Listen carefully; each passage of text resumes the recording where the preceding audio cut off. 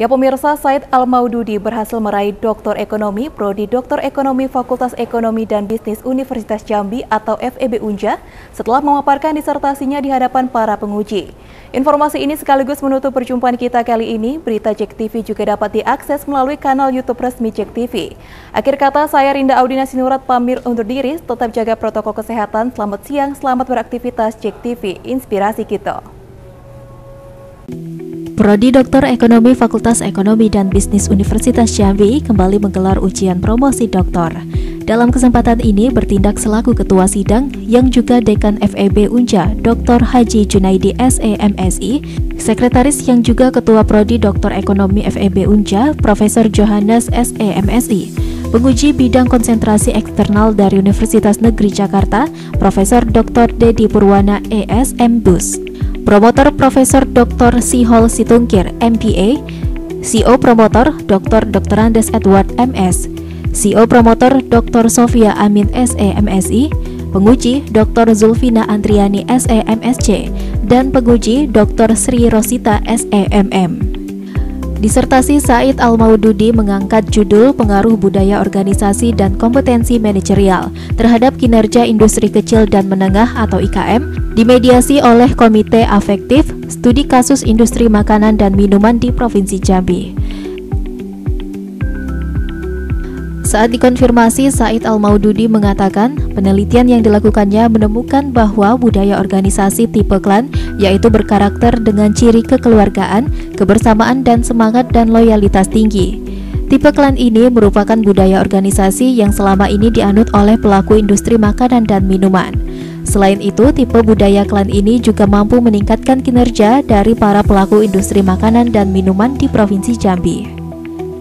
Uh, penelitian yang saya lakukan ini menemukan bahwa uh, tipe budaya organisasi tipe klan itu yang berkarakter cirinya kekeluargaan, kebersamaan, semangat untuk membangun merupakan tipe budaya organisasi yang selama ini yang bisa meningkatkan kinerja dari para pelaku industri makanan dan minuman di Provinsi Jambi. Dengan temuan penelitian ini, kita bisa melihat bahwa selama ini tipe klan ini bisa memberikan sumbangsi terhadap kinerja pelaku IKM.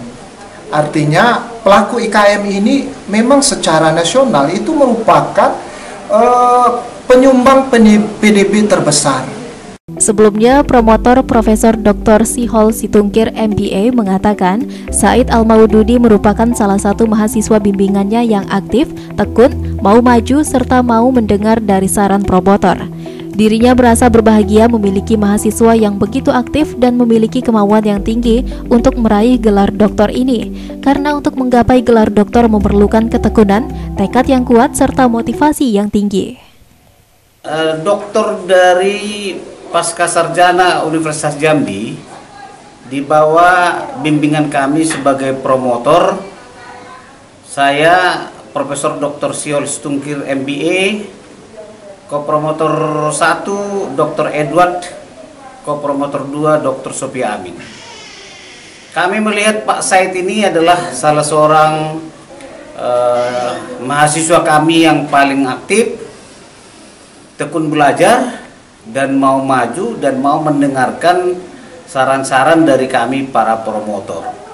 Kami sungguh berbahagia ada mahasiswa kami yang begitu aktif dan punya kemauan yang tinggi untuk meraih gelar doktor ini.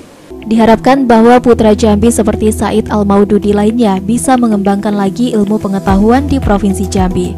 Disertasi tersebut masih bisa untuk diperkaya dengan falsafah dan budaya masyarakat Jambi yang begitu toleran, bersahabat, dan tentu ini menjadi modal sosial untuk menunjukkan kepada dunia bahwa masyarakat Jambi adalah masyarakat yang toleran, penuh integritas, dan masyarakat Jambi semakin giat dan rajin untuk menggali ilmu pengetahuan yang berguna bagi masyarakat lokal dan putra Jambi akan semakin dikenal sebagai ilmuwan bukan saja di tingkat lokal tapi hingga level nasional atau bahkan internasional. Iqbal, Cek TV, melaporkan.